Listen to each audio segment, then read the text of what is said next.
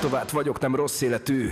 Ahogy fejlődött a tetoválókban a művészi látásmód, úgy a tetoválás is változott. Egyre elfogadottabb, egyre divatosabb, egyre pedeszebb. Azok az emberek, akik tetováltak, azokat valamilyen szinten mindig éri valamennyi atrocitás. Nem bántam meg, hogy megcsináltam.